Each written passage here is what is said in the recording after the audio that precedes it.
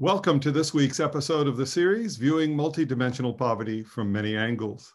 I'm James Foster, co-director of the Institute for International Economic Policy, or IIEP, of the George Washington University's Elliott School of International Affairs in Washington, D.C. With me today is Sabina Alkire, director of the Oxford Poverty and Human Development Initiative, or OPHI, in Oxford's Department of International Development. We're glad you have joined us today for the presentation, The Policy and Advocacy Use of Multidimensional Poverty Measures by David Stewart and Sola Engilbertsdottir of UNICEF, with commentary by Gonzalo Hernandez Licona, Director of the Multidimensional Poverty Peer Network. Thank you, uh, speakers, for being here today. Uh, in just a moment, Sabina will describe the series and introduce today's speakers. But first, I'd like to briefly introduce our institute. IIEP supports research, enhances teaching and learning, and convenes nonpartisan discussions of the key questions facing the international community. We do so with the help of a staff of 50 or more students who assist faculty with research, create a vibrant social media presence, and help run our many events, including two later this week. On Wednesday at 12.30 Eastern Time, our Facing Inequality series will bring Neil Cummins from the LSE to GW for a discussion of his paper, Hidden Wealth. On Friday at the China Conference series, our very own Stephen Kaplan will present his new book, Globalizing Patient Capital, The Political Economy of Chinese Finance in the Americas. Last week, our multidimensional measurement series featured Ricardo Santos of UNU Wider discussing wealth inequalities in Mozambique.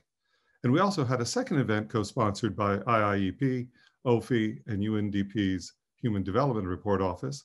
It was Steve Killelea joining uh, IIEP to discuss his newest book, Peace in the Time of Chaos, with HDRO Director Pedro Conceição and GW's National Security Studies Program Director, Matt Levinger. Next week's multidimensional presentation will feature Nils Grede of the World Food Program discussing refugees, relief programs, and poverty using the MPI in Turkey. I hope to see you there. But if you miss any of our events, you can watch them asynchronously on our YouTube channel, IIEP GW. Now, with any further ado, let me turn it over to Sabina for her comments. Sabina? Thank you, James, and greetings all. It's, it's lovely to be together. Um, this is a seminar series in which um, we have different institutions and people from different institutions presenting how multidimensional poverty measures are being used, applied, modified, and innovated upon in their context in order to meet the ever changing demands and also in order to um, expand the policy uses and the understandings of multidimensional technologies. So this week, we're absolutely delighted to welcome um, this seminar on the policy and advocacy use of multidimensional poverty measures in UNICEF. Speaking to us are two fantastic experts in the field, um, David Stewart is the chief of the child poverty and social protection work in UNICEF headquarters. And he leads, therefore, UNICEF's global advocacy on child poverty and social protection. And he chairs a many institution global coalition to end child poverty. Um, he's also developing the frameworks and the guidance that, uh, that UNICEF will use to address child poverty and to strengthen the policies that in the end fight child poverty. So it's really a delight to have David participate here. And he is joined by his colleague Sola Engilbertsdottir, who is the social policy specialist in UNICEF and also has wide country experience in East Africa. Um, she was leading on the from the UNICEF side when Rwanda developed their multidimensional child poverty analysis. And she then also is supervising different UNICEF country offices that are seeking to measure child poverty and then use those measures for policy actions. Um, so it's also fascinating that although she has all of this work on measurement, she has a degree in anthropology, among other things. So that is our speaker lineup. And I'm also genuinely delighted to welcome as discussant Gonzalo Hernandez Licona, who directs the Multidimensional Poverty Peer Network, or MPPN, a group of 60 participating countries, um, which is a South-South network of countries interested in measuring multidimensional poverty and using those measures for policy. Gonzalo also previously directed CONEVAL, the Center for the that oversaw the measurement of multidimensional poverty in Mexico and is very familiar with their journey towards understanding child poverty in that context.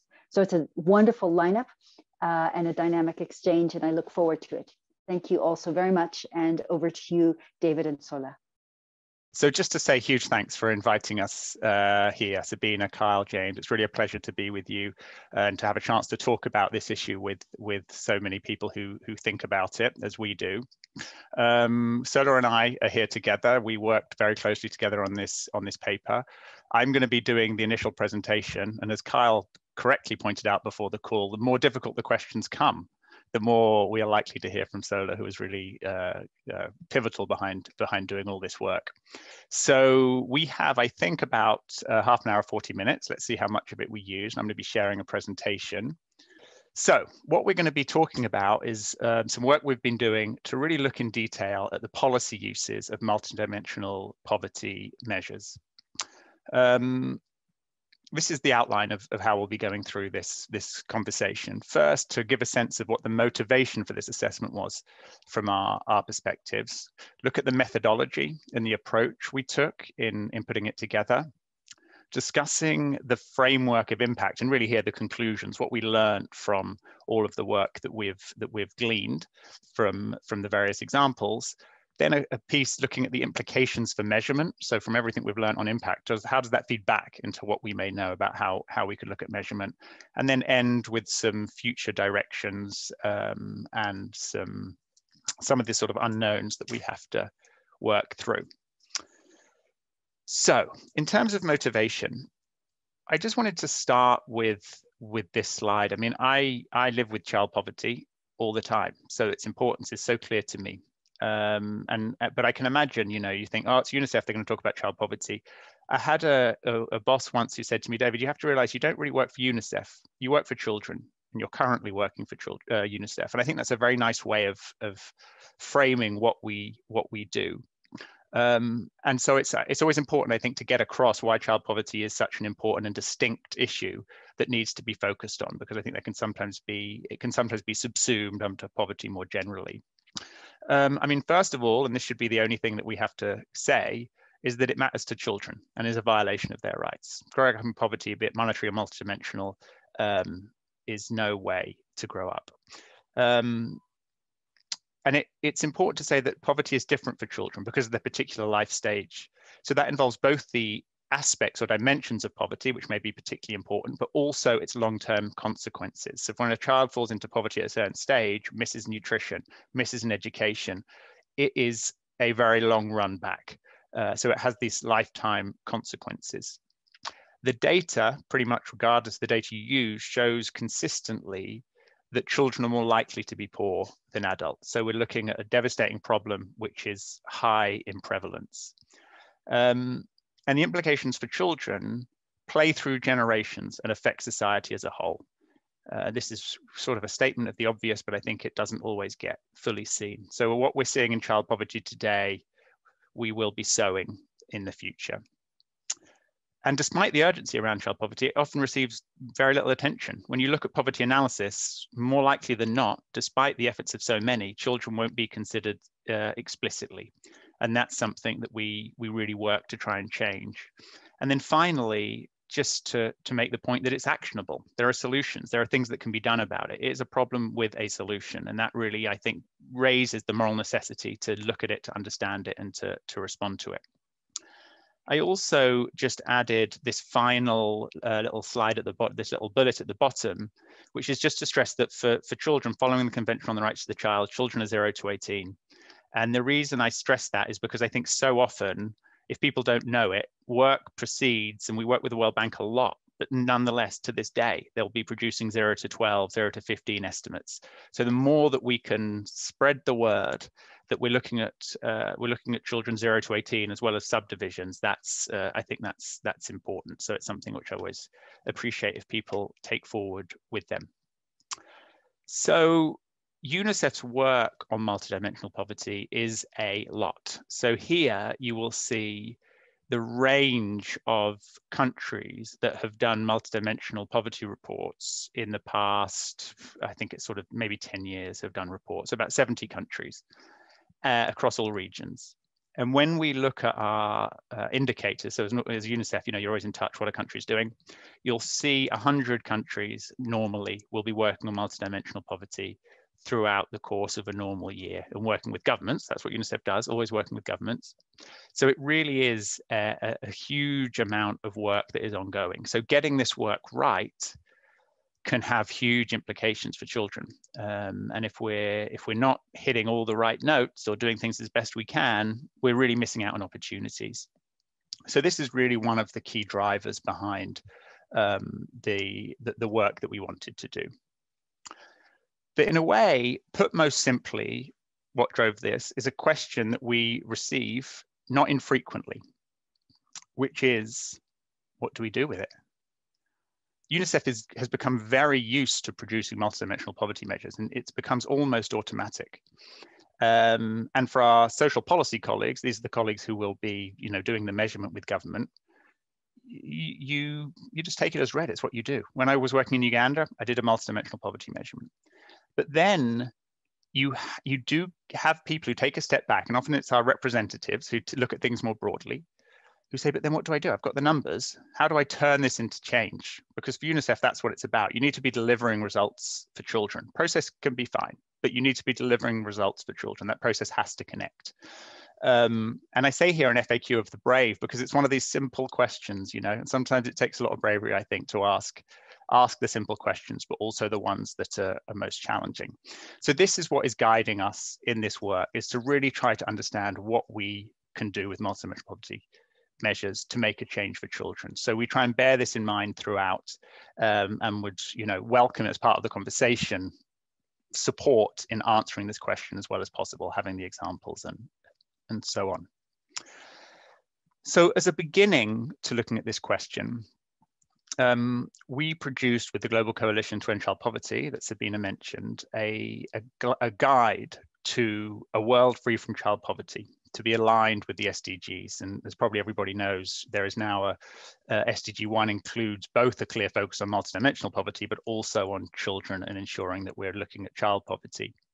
And so this tried to bring an initial sort of structuring to the way we look at our child poverty work. It's not simply about measurement, it's about a path of impact that we're trying to achieve in, in countries. And after working with many in the coalition, with, with those working in countries, this was the pathway that we that we developed. So you see these sort of five steps here, which starts with building a national pathway to end child poverty, developing interest, building motivation and support to move forward. The second is measuring child poverty. That's obviously a crucial foundation. You can't really address what you don't what you don't measure. Um, the third was putting child poverty on the map and child poverty advocacy, so getting the information out there.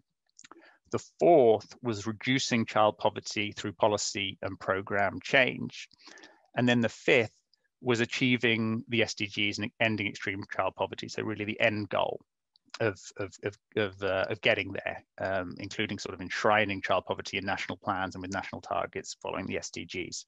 So this was the sort of pathway that we developed, and this guide is organized across this pathway and brings together lots of different um, examples of of how this can be done. Um, but these last three are somewhat tricky. Um, these are um, in the guide, but the really question is how how does it work? How does it work?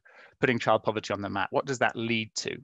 Reducing child poverty through policy and program change. I mean, there's a there's a path between doing the measure and identifying the policies and having them happen. And similarly with achieving the SDGs in term in and ending extreme poverty. So this was the these are the areas in this sequence that we that we feel remain with a lack of a lack of clarity and what we wanted to address. Um, so the objectives of the study are First, to have a clearer sense of good practice on how to use measurement to change policies and programs, as well as where the limits might be. So really come up with something which is which is sort of very realistic and through and through practice. Uh, the second is to understand a little bit more the process issues around measurement that are important because I think what we what we find is that if if there's a particular approach or process around how the measurement is done, it's more likely to have an impact. Uh, and then ask this question of where choosing different measures, different multi-dimensional child poverty measures might make a difference. Um, so let us say a little bit about how we went about this, this work, the methodology of the work. Um, so the first thing to say is we're focused here on actual examples of impact based on multidimensional child poverty measures. It, this this this uh, report aims to be exclusively looking at real examples. So not how it might be done or it could be done, but how it has been done. So we're really trying to draw from practice and draw our conclusions from, from practice. And we felt that was a very important sort of gap in what is out there uh, in a way which has been brought together um, and very important for our colleagues in countries and others working on these measures to, to have a sense of. So we look at over 30 case studies and examples um, across the across the six regions with an effort to be as exhaustive as we can. Um, it's important to note that we focus on all multidimensional poverty measures, regardless of the approach. So our, our ultimate focus is on child poverty and reducing child poverty, but there is so much to be learnt from multidimensional poverty more, la more large, uh, more, la more largely. Um, it's not quite the right word, but you know what I mean uh, in terms of seeing, well, how, how's an MPI affected policy, even if it wasn't child specific? And then, of course, some MPIs are looking at child disaggregations or child specific approaches. So we're really looking across these different types of methodologies. And the ones really that are most commonly out there in the, in the literature and examples are the Bristol approach, which is where UNICEF began its work, MODA, the multiple overlapping deprivation analysis, which is sort of currently a, a mainstay in UNICEF's work, uh, and of course the MPI. Um, so we're really looking across all of these all of these different methodologies in the way that we're looking. Um, so we had a review of 92 reports and papers uh, built on key search terms to to to look at all the published work we could try to be really comprehensive in all the published work that we could as well as an in-depth analysis of 25 full reports which really had a lot of information on that we could use. We also had uh, a qualitative component. So we we had interviews with 24 key stakeholders in multidimensional poverty use uh, to get a sense of what they saw were the strengths and the weaknesses of multidimensional poverty measurement. Uh, what are the barriers and facilitators to the uptake of multidimensional poverty for policy and programs, and the kind of impact that multidimensional poverty measurement can have on policies and programs. So this informed the overall report that will be coming out, but there'll also be a separate um, qualitative report that will that will be coming out. So among the sort of limitations and, and biases, um, which I think are worth noting, one is to a degree there is a focus on child specific measures just because of the number of child poverty reports that are produced. So for UNICEF, when we do multidimensional child poverty, it almost always comes with a report, um, which means that there are write-ups um, which gives you more information, whereas that may not be the case um, uh, of the MPI. So there can be some great examples out there which actually haven't been put together in ways that we can find or have been able to find. Um, and it's also important to note that there are um, language barriers. So our focus has been very much on examples with, a, with an English write-up. So these are, these are a couple of issues that we're aware of. So on to the actual pathways of impact that we are drawing from all of this work. So first of all, just to look at the way in which we're organizing um, organizing this. So we go back here at the top to this pathway, these five pathways, five milestones of work on child poverty. And there's sort of an alignment between these pathways and then the impact pathways that we've uh, organized this work through. Um, so you have impact pathway one, which is how these measures have been used to raise awareness and change the language and concept of poverty. impact pathway two was the identification of policies and programs. So how can the measures themselves be used to really guide um, what we could be doing in terms of targeting policies and programs on multi-sectoral priorities, informing budgets, and on social protection. And these four really emerge from the, the literature review.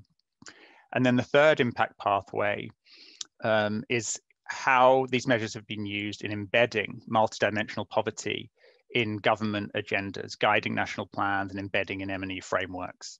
So we wanted to come up with something that was that was reasonably clear to, to make it understandable for those who are going to use it. And it's very helpful for us to provide linkages between what we're doing now and these initial milestones because these sort of provide the guiding frame for our work. So it sort of keeps coherence to have have some form of alignment and, and we think this alignment works works reasonably well.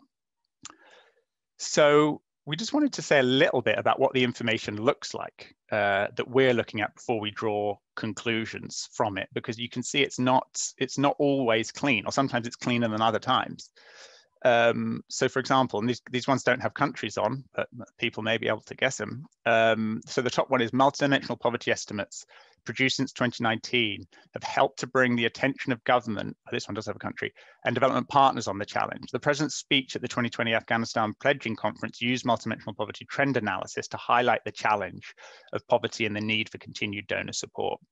So, I mean, this is a really high profile example of, of it entering into the policy discourse, but it's still quite hard to, you can see how it's been used, but it's quite hard to pull apart. So it has helped bring attention, you know, oh, how do I go back? Um, so, so drawing exactly what happened in these examples is really quite difficult uh, or can be. So the next one is the UNICEF commissioned multidimensional child poverty study generated outstanding media coverage and supported advocacy to increase investment for children and adopt routine child poverty measurement to assess progress on SDG 1. Um, so again, it sounds like there's been a lot of very positive coverage and it supported advocacy to increase investment and adoption of routine child poverty measurement in the SDGs. Um, but it again can be hard to pull apart. And I'm I'm as guilty as anyone of writing uh, case studies which read in a way which have a very positive sense. Um, but it can again be it can be tricky to to pull out the the specificities. Um, this next one on multidimensional child poverty analysis has informed the implementation of a Cash Plus program in Burkina Faso. Uh, The Cash Plus program with components on wash and nutrition will be implemented in four regions with high incidence of multidimensional poverty. Um, so this is sort of quite common. You'll see the word it informed, uh, it informed the implementation of the program. But again, we don't always know exactly what does that information look like. How influential was it? Um, and then you have ones which are which are really pretty crisp. So the MPI has been used as one of the five criteria for allocation of national resources to local governments in 2013 um, so there you have a very clear sense of how of how something has has been uh, has been used. So anyway, we wanted to share these just to give a feel for the the base information and the complexity of trying to draw conclusions from it in ways which we we think are helpful as we as we move the work forward. Um, so now what we're going to do is just go through the impact pathways. There are these, there are the three impact pathways we, we looked at, and we're just going to point out the key conclusions that came from these impact pathways. So this is really the, the, the currently the key conclusions of the draft, um, the draft report. And I probably should have stressed at the moment, this report is in a late draft stage. So these sorts of conversations are going to be very helpful in terms of finalizing it, reaching new examples, understanding if the conclusions are solid, uh, so on. So the, the first impact pathway was advocacy and changing the poverty discourse.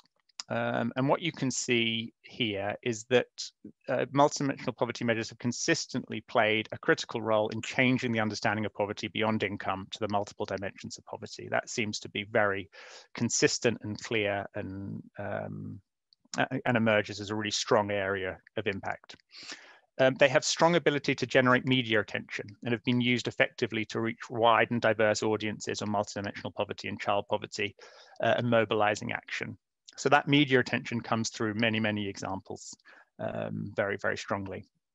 For child poverty reports in particular, they have highlighted almost universally its higher prevalence than adult poverty. So that's come through as a very strong um, uh, message, which is which is also actionable. Um, you know, the impacts of these pathways through advocacy to policy and program change are often indirect. So getting to that direct point, okay, so where did this advocacy lead or where did this greater knowledge of multidimensional versus just looking at monetary poverty lead? It's very difficult to say and to draw, but that is not to say it doesn't have a lot of value. Um, and I think this is something in UNICEF that we need to keep stressing. So when people ask the question, what do you do with it? It can sometimes be they, they're looking for something more concrete, a more concrete line from, from advocacy and changing the understanding of poverty. But I think this is these are very, it's very important to both value the, the these impacts um, at the same time, trying to understand the pathways, but accepting that they're that they're they can be tricky. Um, and and intuitively and i say intuitively we say intuitively here more because it's again hard to really pull from the evidence. Where advocacy has been combined with clear policy actions and asks the pathways to the change can be seen more clearly. Um, um, but it is hard to be very clear on this. But if you combine the advocacy with and this is what we should do then um, you have a, a much better chance of making that difference. And here on the side, you have a couple of the the examples of where we've seen this happen. Afghanistan, actually, we mentioned briefly, briefly in the previous in the previous slide. Uh, and here's an example of Brazil, which during the 2018 presidential election, UNICEF launched a really significant advocacy campaign based on multidimensional child poverty analysis with proposed actions and it got massive media coverage and, and pledges from uh, uh, candidates so you can see these are these are real real changes which are happening. So, so the advocacy and changing the poverty discourse, I think there's little doubt about, and I think it's the one area where there were so many examples we couldn't actually be um, comprehensive.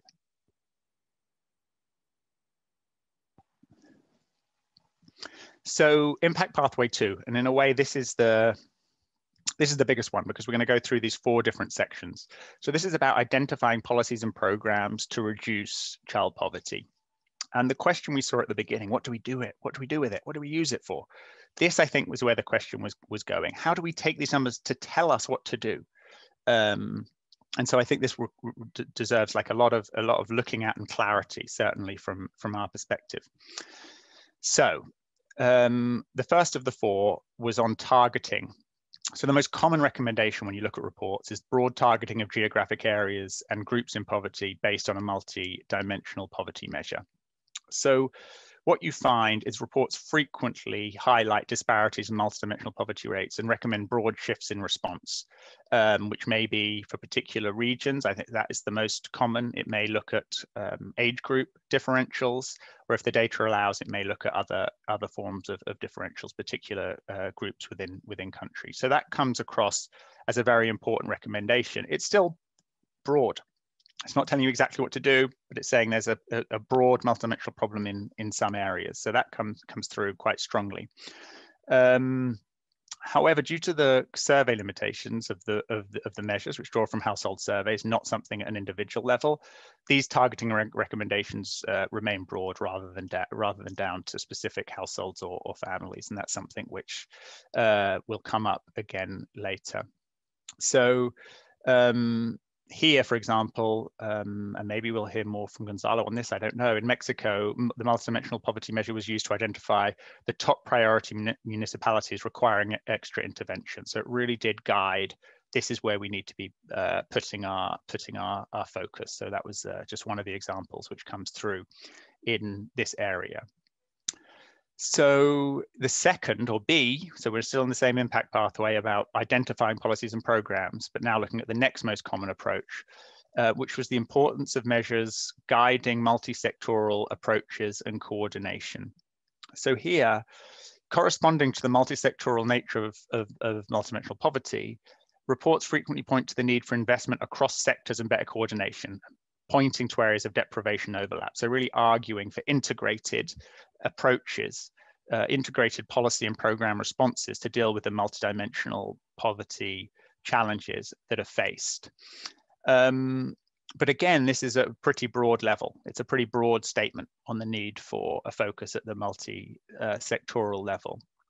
Um, the, the, measures sometimes have been used to direct focus for the implementation of multisectoral programs uh, and identifying priority geographical areas for multisectoral interventions and really using the measure to then bring together stakeholders um, to figure out okay how do we actually take this to the next level and make things make things happen? And again uh, mexico which comes through consistently as a, as a as a very strong example. And as we do these breakdowns you'll often well we find in the report oh yeah mexico fits here and it fits here and it fits here. So you have some countries which sort of cut across. Um, and so and so uh, what, what was able to be done there was developing national strategies to design and coordinate multi-sectoral policies uh, with a reduction of MPI as the as the main goal. So it went beyond a statement that this is something we should be doing to actually bringing people together and make it happen. Uh, and from what we've seen, that is quite um, unusual in the in the literature that we've reviewed. Um, they have rarely been used to directly guide, multidimensional measures have rarely been used to directly guide policy simply to reduce the measure. Uh, and I think this is an important one to focus on for a second, because in a way, multidimensional poverty measures have simply tell you what you need to do to reduce multidimensional poverty. It's sort of a straightforward thing. You know what the indicators are, you know what to reduce, and you go ahead and do it. Um, but we find actually that doesn't happen very much. Um, and and uh, the reason why uh, we think is because they can guide you in ways which then you take a step back and it's like, well, actually, maybe that isn't the key area we want to focus. So, for example, MODA is an interesting example. It will often come up with either sanitation or housing as the highest area of deprivation for children. Um, and it doesn't tally that result, doesn't tally with um, policymakers um, or indeed child advocates as the key area to improve. Maybe because there are other areas which are more crucial for children, nutrition, education, health, but also because the policy difficulty of changing different dimensions um, is varies by by by different deprivation. So that sort of almost tautological approach to taking the index and just wanting to reduce the index directly isn't something that we see see happening um, too too much. Now, there have been some efforts to analyze the multidimensional poverty um, package to identify sort of an optimal policy package which can respond and reduce multidimensional poverty overall but it's an extremely difficult thing to do. And I think for some of our colleagues, this is maybe what they what they'd be hoping for. Um, so, so for example, in, in income poverty, it's more possible to run simulations and say, well, these are the actions which will reduce uh, income or monetary poverty. But for multidimensional poverty, because of the, the complexity of the measure, taking that step back and being able to analytically say, well, here's the one, two, three things that could really make the big difference is not something which is easy to do and in practice uh, really hasn't been used, even though there have been um, some efforts. Okay, so um, we're now on the third C, um, and there's one more in this impact pathway, which is the use of multidimensional poverty measures to guide and influence national and subnational budgets. Um, and this is the third most common recommendation. So what you find in, in a number of reports and, and recommendations is the importance of increasing the effectiveness and uh, efficiency of budgeting to reduce multidimensional poverty. But again, this tends to be a quite broad recommendation um, on the need to improve budgeting rather than something which is drawn very specifically from the identification of, of the policies and programs which, which need to change um, but not to say not an important one and, and not a guiding one for, for many countries. And there are some limited examples of multidimensional poverty being used really much more directly. Uh, and these have come from uh, MPI examples in Nepal, Nepal and Bhutan, where they're both using the MPI directly for budget allocation formulas. So, so these examples do exist, but uh, are unusual in the grand scheme of, of everything we're, we're doing we're seeing. So when you look overall, and here are some examples, you can see in Cambodia, um, the multidimensional child poverty measure led to the inclusion of child poverty in sort of key annual budget formulation guidance. So it was there and hopefully it was influential, but that's not direct in the same way as we have in Bhutan, where, as we mentioned, it was one of the five criteria for the allocation of national resources to, to local governments. Um, so it's important, it's influential, but often it's not super direct. So finally, in the second impact pathway, um, social protection is commonly included as a, as a policy recommendation for addressing multidimensional poverty. So we see these in lots of reports. Uh, and as a program, you know, social protection is has these broad multi-sectoral impacts. So it makes a lot of sense as, as a program which can make an overall overall dif difference. Um, again, it's not it's not derived particularly analytically in the examples we've seen. It's rather that we have a multidimensional poverty problem. We know social protection has really broad influence across areas of children's lives, so it's a very good recommendation. There's a fit rather than it being you know more carefully analytically drawn from the measurement. Um, but it's also important to note that in UNICEF, the well i work i'm you know my the, the unit i'm part of is child poverty and social protection. So it speaks to these things moving together. And of course when you have an institutional connection like that you can also see these these connections uh, come through. Um, but as noted earlier there aren't examples really of multidimensional measures being used to target specific social protection programs to households and individuals. It has been done with secondary data collection measures, which allow you to look more closely at the at the at the sort of individual and, and household level. And it's an area which I think is quite interesting given the ongoing conversations and challenges around targeting to look at that in a little bit more um, a little bit more more carefully. Um, and then you'll see, I think we've touched on both these examples previously, so you can see just a couple of those there on the side, but I think for time I'll keep moving on.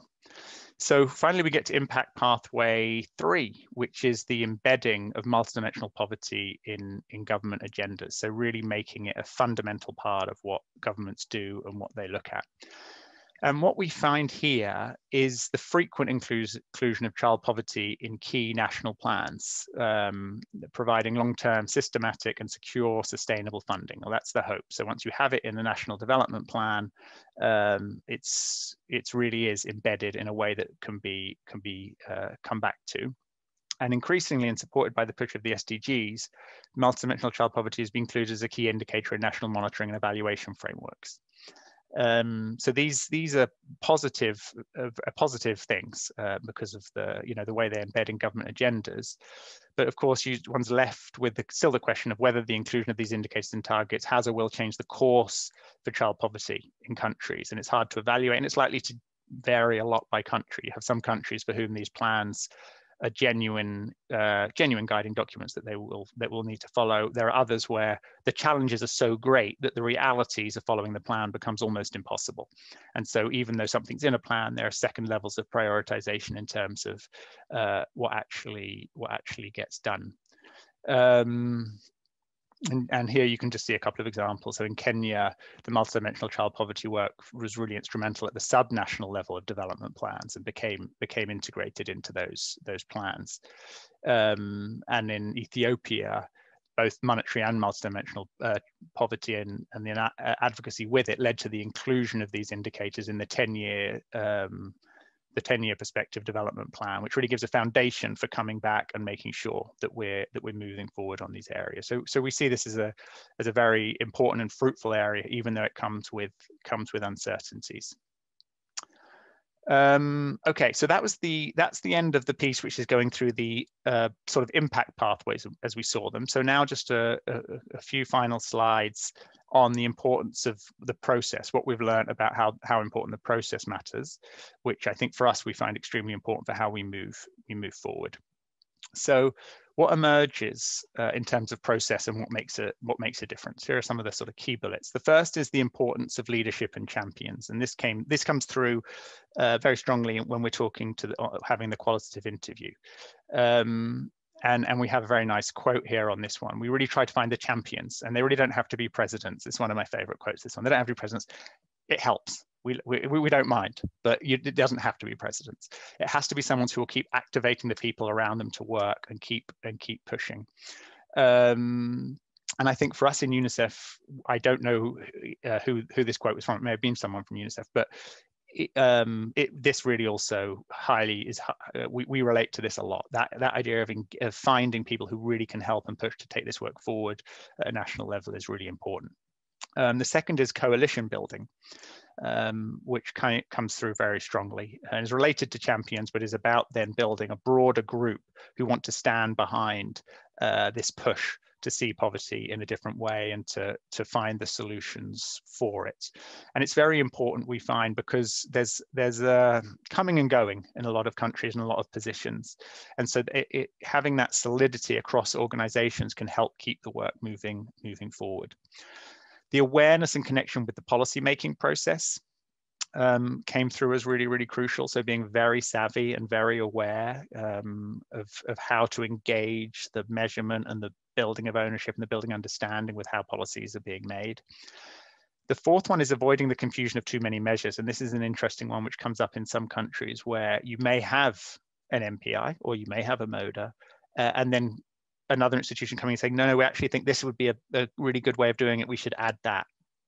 And I think that what came through for many is the need to avoid having too many different things going on. There's a limited amount of, of policymaker space uh, that people can take before you, you keep adding measures. And I think that's something important for us as a community who works on this, but sometimes on different measures to really be aware of and work on, work on together.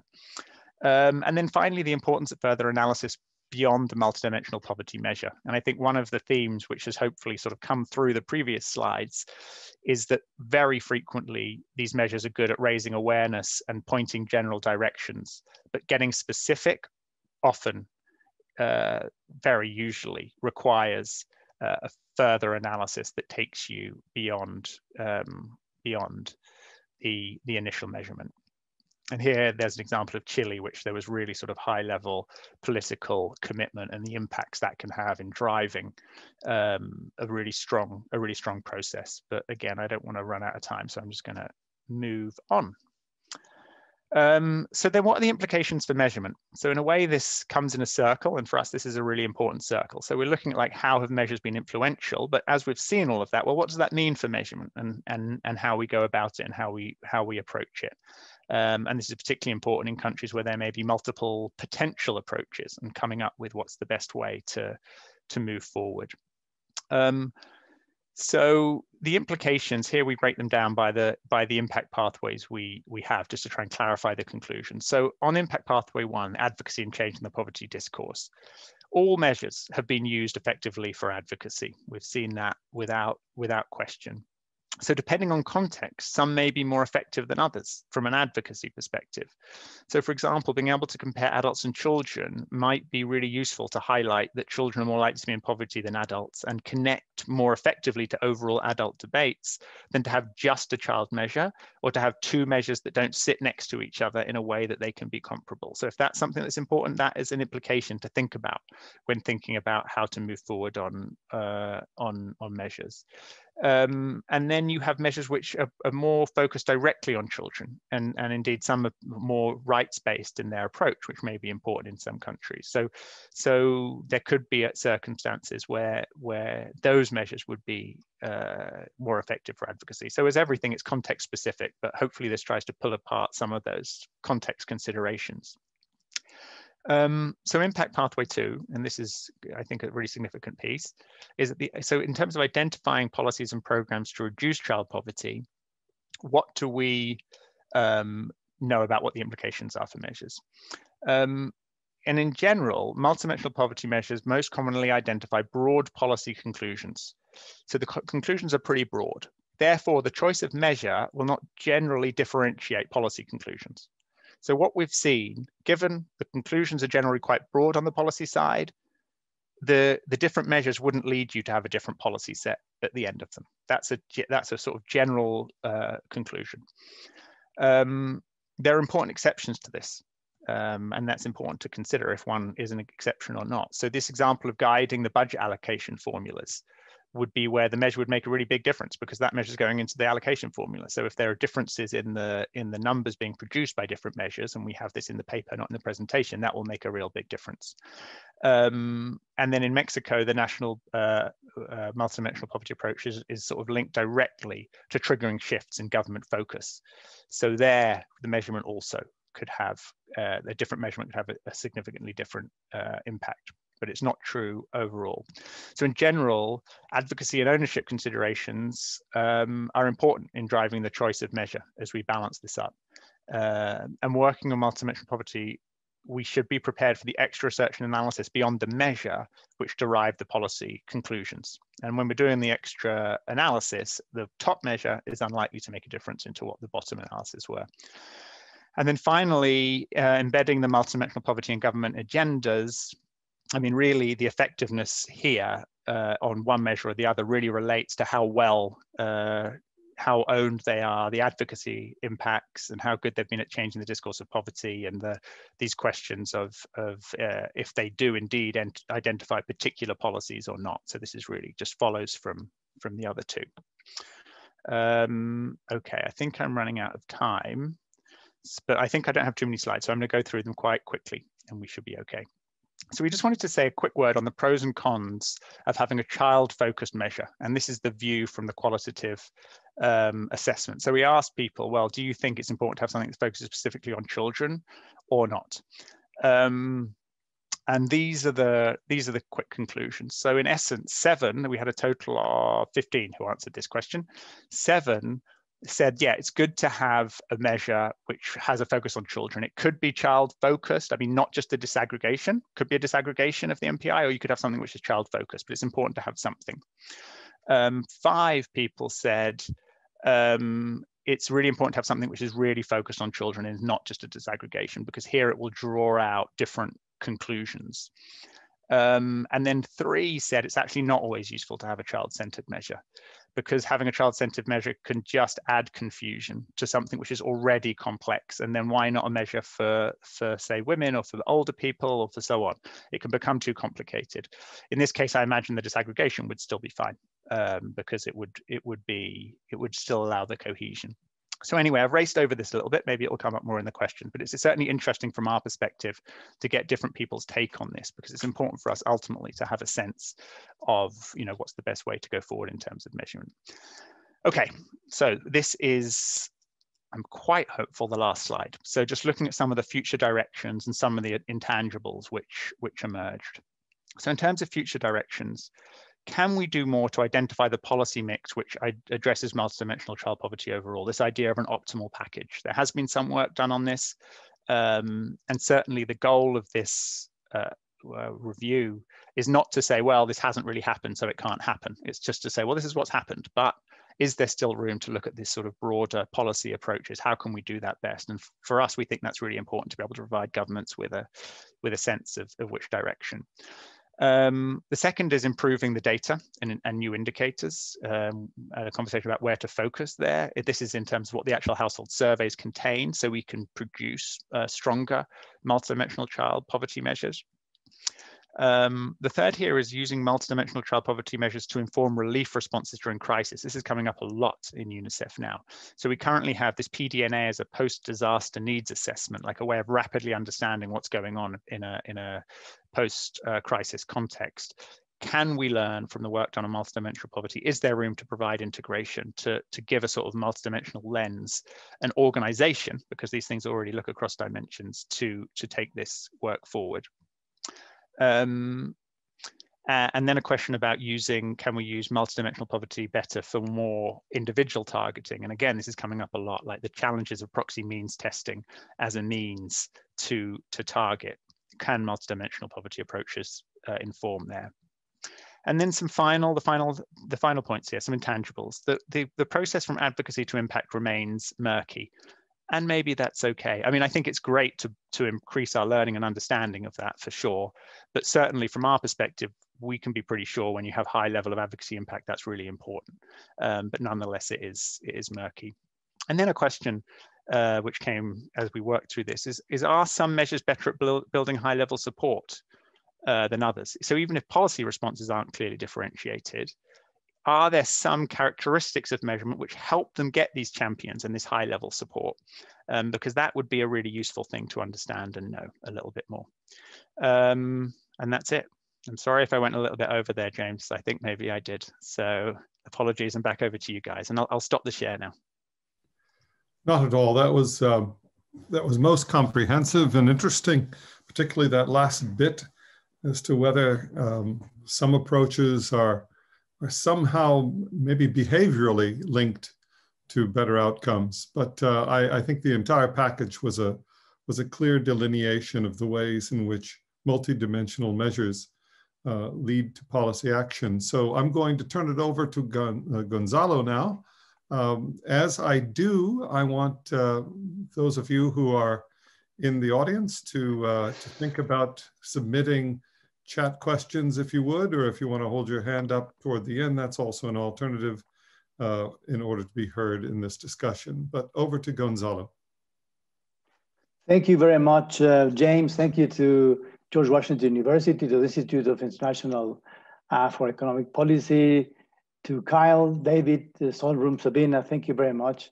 I mean, I guess, I guess this is really a good opportunity to talk about the use of, I mean, the use of, uh, of uh, multidimensional poverty indicators finally. I mean, at the beginning, when we started many of these talks, uh, I mean, I wonder if my, if my colleagues agree with me, but it was mainly a more technical, a more technical debate about uh, going beyond um, income or trying to capture better how poverty should should uh, look at the concept of poverty. Um, I mean, it's true that those interested in poverty measurements uh, are also interested in poverty reduction. I mean, that's true. But but I, from my point of view, uh, I, re I really believe that in the beginning we we talk about um, even uh, uh back beyond 2007 and six or uh, back with Bourguignon, Chakravarty, and Amartya Sen's work, uh, was mainly an academic debate about uh, going beyond income. Um, so, um, I mean, I remember a Mexican researcher who has been working on multidimensional poverty measurement for ages. Um, and when he was congressman, he pushed really hard to have uh, a multidimensional indicator in the law. And uh, I mean, and, and at the end of the day, he was successful because uh, the Mexican law had the multidimensional poverty, not only because of this person, but uh, but but uh, when the law was um, approved, uh, we didn't talk about the link to, to policy specifically. Specifically, we, we just talk about that this may be a better way of measuring poverty. Uh, so, but, but finally, when the measurement was uh, already there, I mean, it made sense to go to the next step. How can we going to use it? Um, so, so on one hand, this step uh, is not very easy usually because the measures were not designed for specific uh, use, for instance, for targeting. We didn't say, well, what would be the best tool to improve targeting in public policy? we didn't go that way. We went the other way around. So it, it is not that easy uh, to go to, to the use when you did, not decide that way. But on the, on the other hand, unlike income poverty, multidimensional poverty was from the beginning public policy friendly. And politicians started to get this message. So for instance, if a government is able to um, to place a, a, child in school, then the government is reducing poverty at, this, at, at that very moment, at the spot. Um, if government improves the quality of housing for, for poor people, then immediately, according to multidimensional poverty indicator, then poverty goes down. And this doesn't happen with income, uh, income poverty. I mean, you need more time, you need to wait for when the schooling um, takes um, this, this advantage. So, uh, so this is very appealing for, for public policy. And politicians started to noticing that. Um, it's very appealing for, for politicians. So I remember when we started uh, our, our measurement, it was at the middle of the, of the government of Presidente Calderon. And we really tried to, to engage government with a, with a new measurement, but they were not very interested because they started the government with, a, with an income uh, approach. Their, their, their national uh, policies and the national programs, that were designed with the, with the income approach. So it was very difficult. But when the president realized that uh, he was able to reduce poverty in the short run with a new uh, device, then uh, we got his attention. And uh, so, so he was he was very keen to, to use it. Um, so that is why, having said that, that this is a, this paper, this effort made by David and Solrun is a, is a, is a great opportunity. It's, a, it's going to be a very important uh, document to talk about use and how to improve it. It's going to be very useful for, for, for OPHI, for UNICEF, because we all want to talk about um, policy now.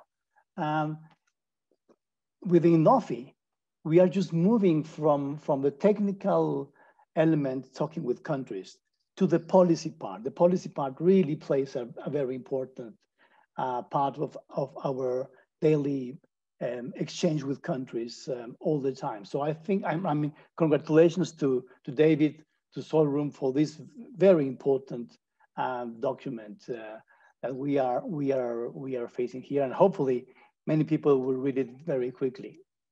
Uh, let me just uh, talk about certain aspects of the document. Um, the first one is the most important part of the paper, as uh, David said. It was a very detailed review of uses with loads of country examples. And, and this is going to be very useful. I mean, examples, as he said, about targeting, budget, programs, uh, prioritization, coordination between ministries. Uh, in every single section, the paper shows plenty of, of country examples.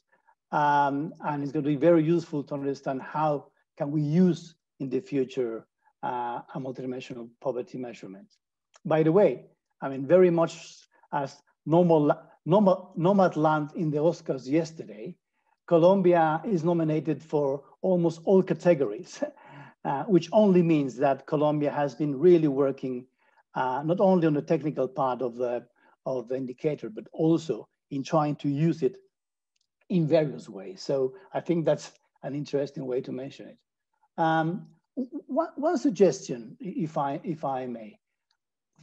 I believe that the accountability part is not um, that, that clear in the paper. And sometimes I believe for many countries, perhaps accountability was the main driver from the beginning uh, to try to make accountable governments, state governments, and ministries.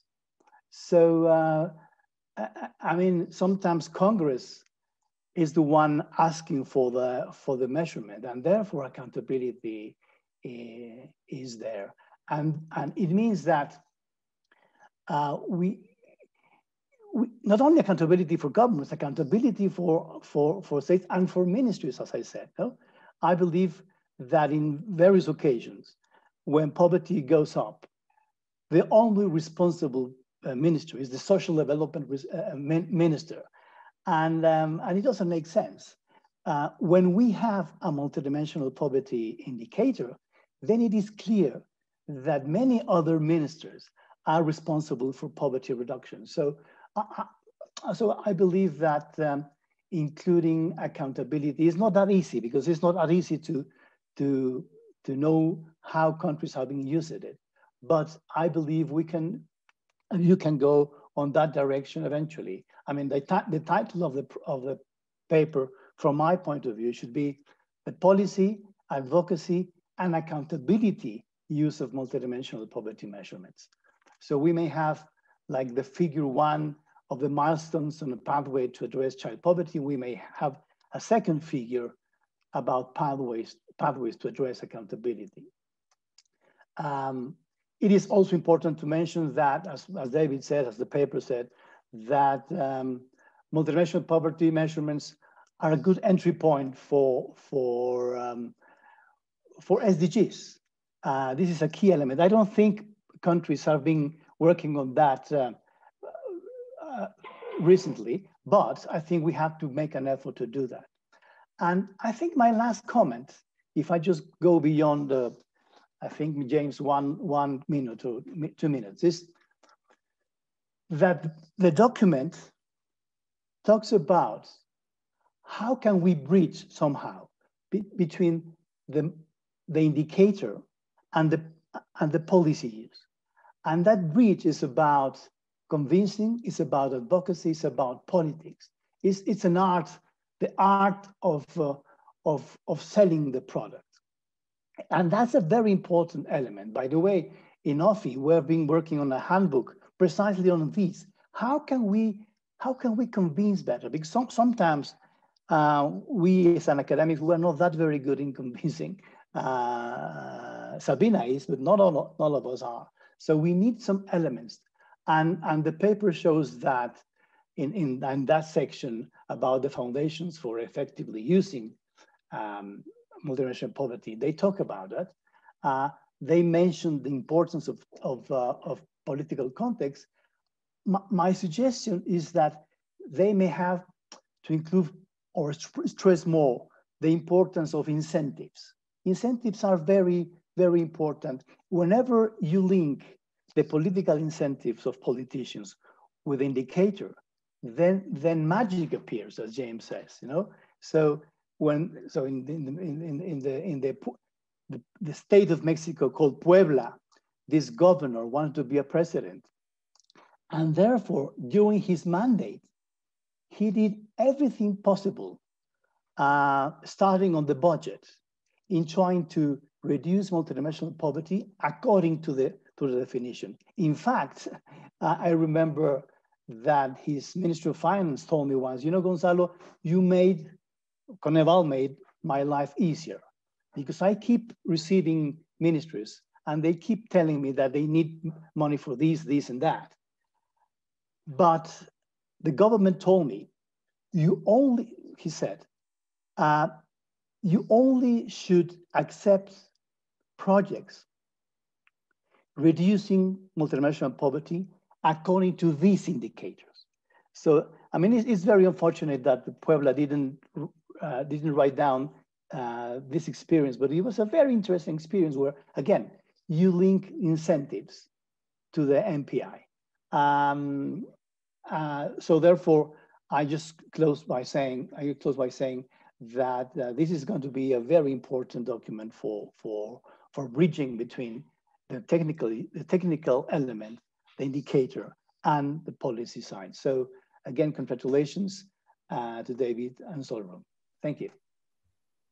Thank you, Gonzalo, for your concise uh, discussion of, well, a history that you were in the middle of in Mexico and then extending on to your impact in Colombia and across Latin America and beyond. Um, now, I'd like to shoot it back to David and to Sola if there is uh, there are some parts that you'd like to respond to. Please go ahead. But remember, the rest of you be thinking of your questions uh, as we uh, hear back from the speakers.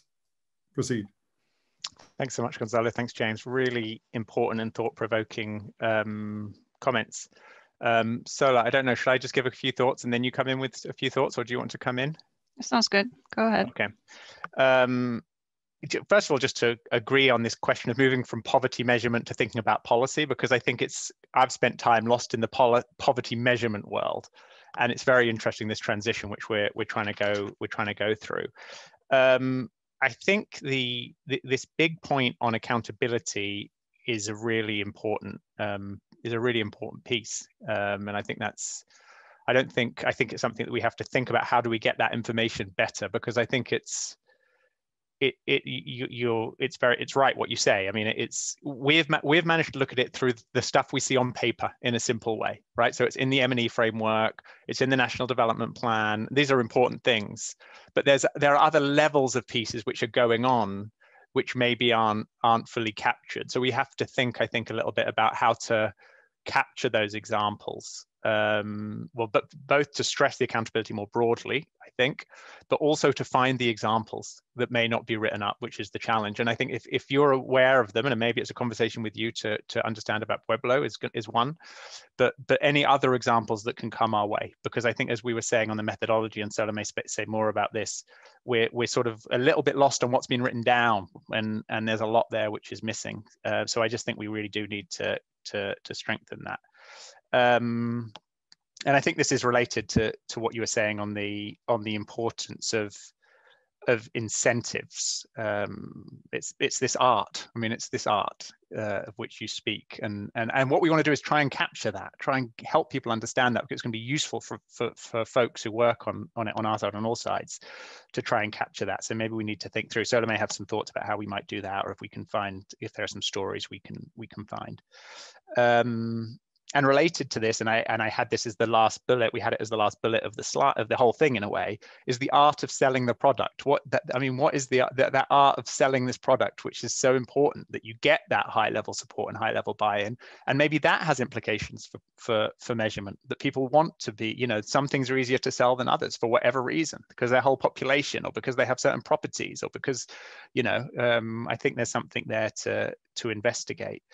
Um, and then the final piece, just to say on the SDGs, and Sola may come in more on this because she's done some work on this as well, is it's been it's been sort of disappointing the the transition into the SDG era and the pickup of measurement and reporting.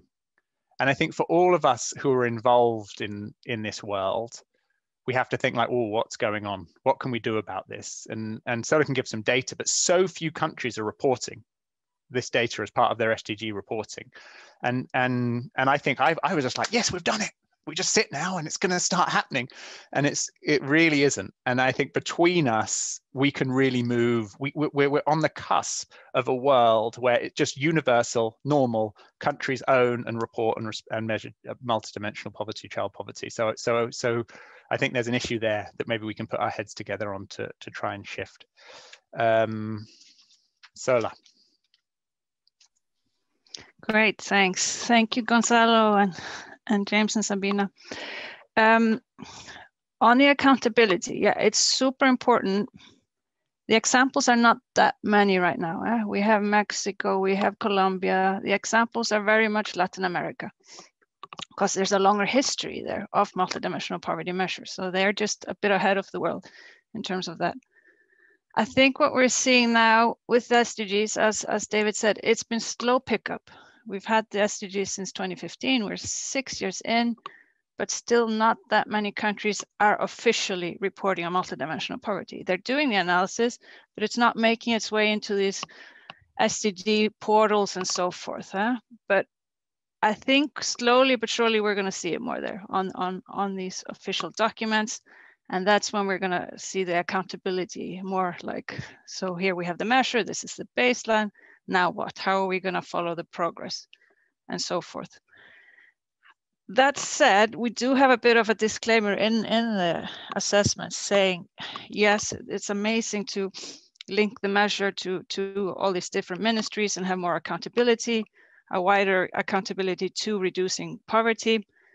But we want to also avoid simplistic policy recommendations. Eh? And that's what can also happen with a multidimensional poverty measure is you can focus in on not even one dimension. You could focus in on one indicator in a dimension and reduce that indicator and poverty goes down.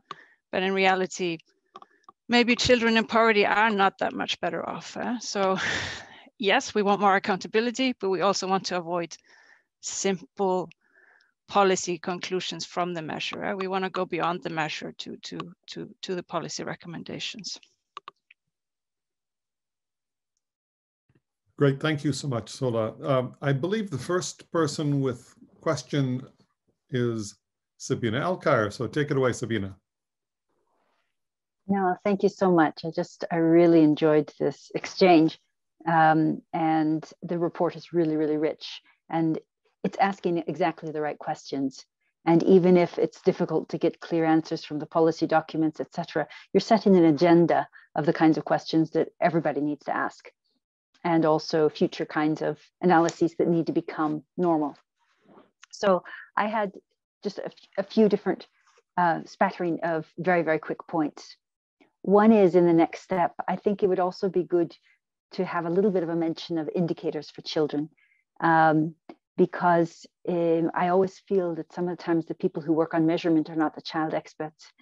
And sometimes the child experts may not work on measurement, but it would be good to have a space to see are there really important aspects of children's lives that could be in either household based national MPIs or child MPIs, but where the surveys are not getting the right information?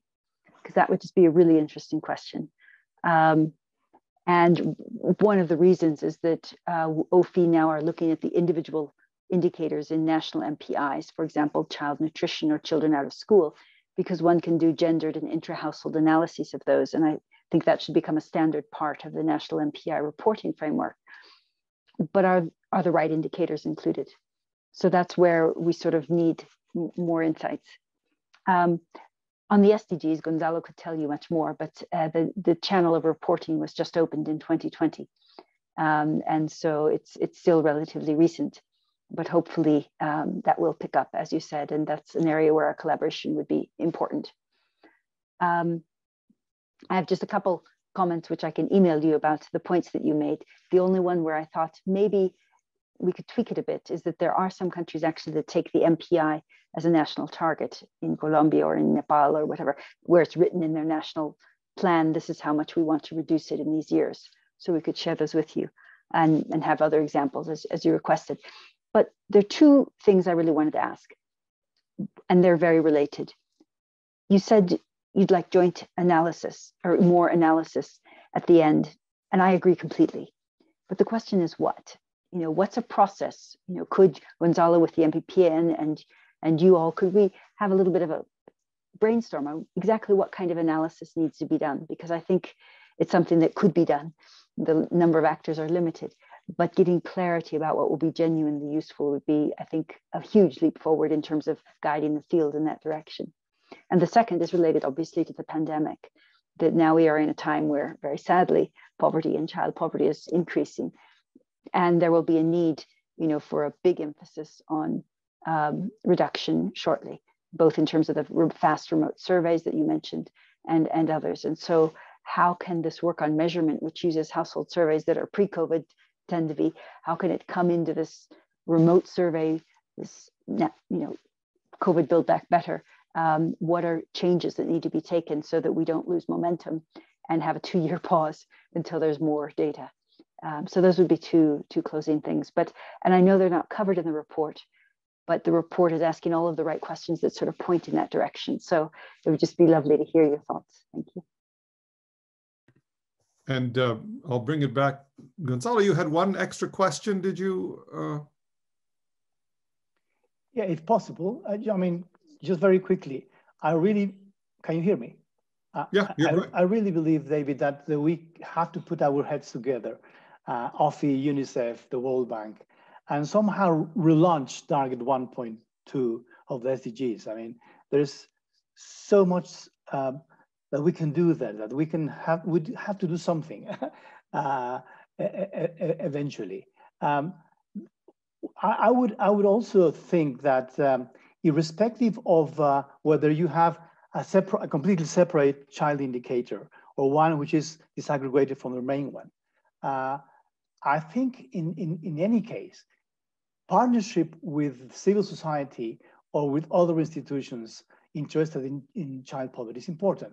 Uh, our engagement with, uh, with uh, UNICEF in Mexico was very, very successful. And they really, they really uh, did many things in terms of policy uh, because of this uh, partnership. I think that's, that's important. And of course, Jakob um, Jakob and Sabina have a very good paper about that. Uh, Jakob Dirksen and Sabina. So we have to also think think about uh, these elements of uh, having one child poverty in one way or another another way. Great. So David and Sola, finishing thoughts. Um, this is yeah no I'm I'm very in line with these pieces. I mean I think on that great I mean to get these examples of where countries are targeting, great, please. And in general, if people have examples, do send them our way because it's going to make it so much, so much better. And particularly examples where there are there are gaps will be particularly like influential on the on on the piece. So that would be hugely useful. Um, I think it would be. I think there's a question of partnership broadly, Gonzalo, from from yourself, but also from Sabina in terms of how we move forward on joint analysis.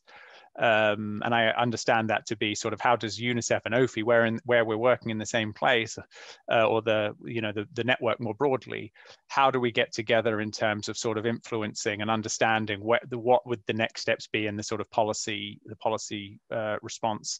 And I really would I think we'd really value encouraging that, and we can come down to the practicalities of how to encourage that to happen because I think where there are places where there may be different ways of looking at things, um, and we, we this can be true when we work with the bank and other places where we don't always see exactly eye to eye, that joint analysis is just extremely useful. People come together and start to see concretely how do we move forward. And I think that's something that we could really encourage. And we could think through the details of what that looks like, connecting with the network more broadly, or is it a bit more looking country by country? I'm sure all of you have a good sense now of how UNICEF sort of operates and its decentralized model and you know its complexities, but that would be great to, to take on. Um, and then then just to say oh, this idea of relaunching 1.2 i think would be could be pretty nifty to try and bring some some attention to that um, and, and Sola may want to talk a little bit about the work we've been doing as part of the coalition just to have a sense of how countries are reporting. So we do have a bit of an update. We do have a platform to a degree already to show where this is happening and where it isn't happening. So there's something that we could definitely definitely build on on there. Um, and Sola, in terms of the the survey questions, because I know you've been doing some work on the possibilities of of the remote surveys, the tele surveys, those sorts of challenges. I don't know. There may know. I don't know if there are any conclusions there that you might want to speak to that. So again, um, if this is my final word, huge thanks everybody. It's really been uh, really wonderful. Great, Sola. Do you want to do the final final word? I'm not a final final, word. I want to just for, final for today in this uh, session, hopefully. No, I just wanted to mention quickly on the survey. It's very true what Sabina says. Like, if we're not mentioning COVID and thinking about COVID, we sound a little tone deaf in the current situation. It's actually more promising than we thought uh, in terms of household surveys. MICS four countries last year went into the field, eh, despite the challenges there, and this year even more are going to go. So I don't th think the situation is as serious as we thought, where we were thinking we're not going to get any national household service in the next years. But they're going out there uh, quicker than we thought. And I think the same probably for LSMS and DHS. That said, we have this high frequency phone monitoring service, which we could really tap into as a group. Eh? They have limitations, obviously. Eh? It's a phone survey. It's, you know, it's not always representative samples and so forth. And we get the same issue as with everything else. They usually do children zero to 14 years. something the bank just always does because after 14 years, children often start working. Eh? So they feel like it's a different cutoff. Um, that said, there's so much that are multidimensional. There's questions on health, education, usually, you know, something on food security and so forth. So definitely throwing our heads together and, and thinking about how can we reflect the impact of COVID on multidimensional poverty because the bank obviously is more focused on the income aspect. I think it's a great idea. But yeah, final words, David? Do you want to say some final? final goodbye? Well, no, I'll say the final goodbye then and uh, take it uh, from here and say uh, thanks to all the audience for staying with us, uh, talking about multidimensional poverty and policy. We'll see you next week. Uh, and thank you very much.